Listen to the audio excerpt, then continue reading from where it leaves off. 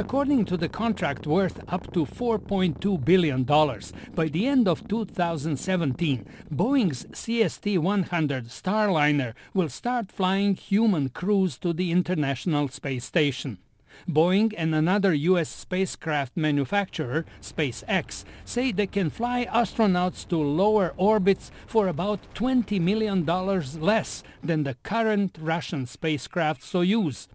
Since both vehicles are in advanced stages of development, astronauts are already training in flight simulators such as the one built by Boeing. It's one of a couple different types of simulators that we'll have. This is primarily for getting to understand the, the, systems and the cockpit layout and how the, the person, the crew member inside is going to interact. The design of commands for spacecraft has changed considerably since the early days of spaceflight.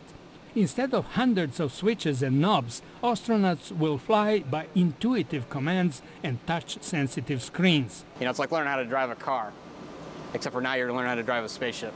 In the meantime, NASA is developing its new Orion spacecraft and a more powerful rocket called Space Launch System. The agency wants to turn low-orbit flights over to commercial firms in order to concentrate on deep space missions such as the first manned flight to Mars. George Putic, VOA News, Washington.